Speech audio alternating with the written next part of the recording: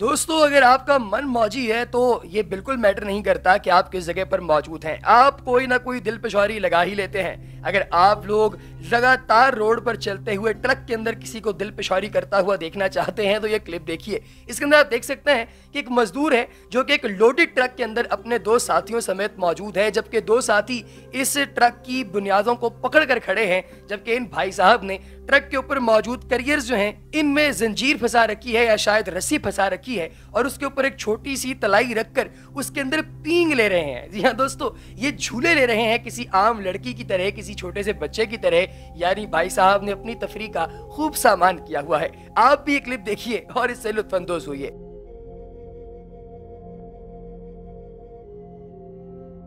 तो प्यारे दोस्तों, आपने देखा कि कैसे ये भाई साहब इस ट्रक के अंदर मज़े कर रहे हैं और हमें भी बता रहे हैं कि भैया, ज़िंदगी अगर गुजारनी है तो फुल चिल तरीके से गुजारो, गमों के ज़रिए क्या रखा है। अल्लाह पाक हम सबको खुश रहने की तोफ़ी अता फरमाए। अगली वीडियो तक दीजिए इजाज़त, अल्लाह हाफिज।